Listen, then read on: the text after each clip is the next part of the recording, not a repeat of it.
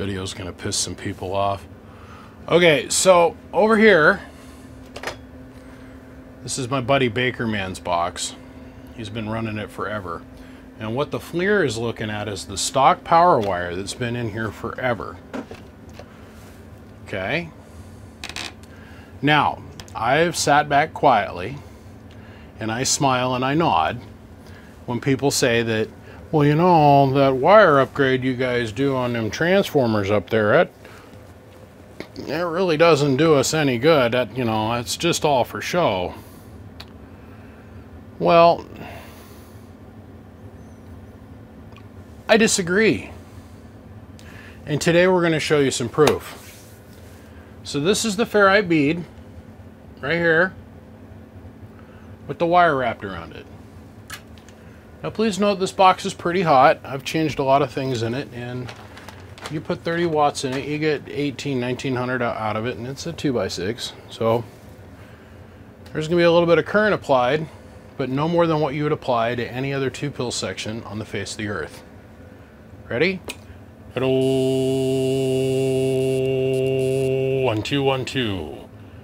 Hello, one, two. Now what we're watching happen, for those of us that are disagreeing that that's a real thing, here let's, let's take a picture of that so we can insert it in the video.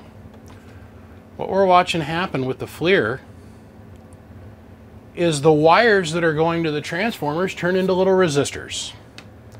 And they severely climb in temperature. That was two or three short little keys. And we are well over 100 degrees in just seconds. Seconds. Hello, one, two. Well, what difference does that make? 105 degrees. Hello, one, two, one, two, one, two, one, two, one, two. Is because that works out to be about a volt worth of drop power braille to the transformer. And then we have another like three tenths of a volt drop from the edge of the transformer to the front of the pill. So you lose a whole volt worth of love because everybody uses these small wires. This is a phenomenon that I studied and figured out that we needed to do something differently than this a decade ago.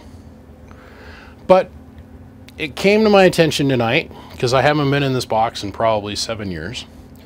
And I'm in, I'm in here replacing the rectifier pack because I had the little 50, 50 amp bullshittium rectifier packs in this thing. And I'm like, oh, I've got to change these resistors in the corner.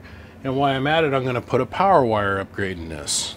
Even though the box is putting out retarded power, that's 2x by the way and we are putting into it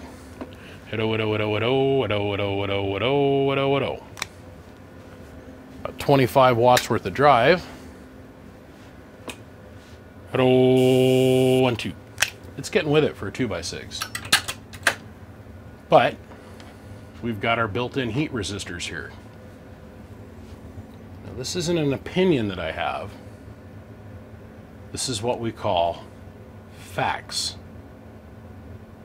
This isn't open for debate anymore. It's not. Guys, this power wire is too small, and if you still keep building like this, you're foolish because you're damaging your transistors and you're causing the customer to be open to a failure. Just saying. Just saying. Howdy, King Smoke and Mirrors back here for segment number T. So we upgraded one transformer. And I want to show this something to you. This is our ferrite bead with a wire around it. Hello, one, two, one, two, one, two, one, two, one, two. Okay, no heating. And then it's paired partners. Hello, one, two, one, two, one, two, one, two, one, two, one, two. No heat. Hello, one, two. Just saying, it's uh, no longer an opinion. These would be facts. Now we're not going to have a conversation about how the flybacks need to be 5 watt resistors and how they uh, they get hot. We can get the camera to focus here. We're not going to have a conversation about how the 5 watt resistors get hot and why they need to be bigger. That's for the next video. this is all it takes. And no longer do you have a heating element and everything runs cooler. Just saying. Just saying. I gotta go.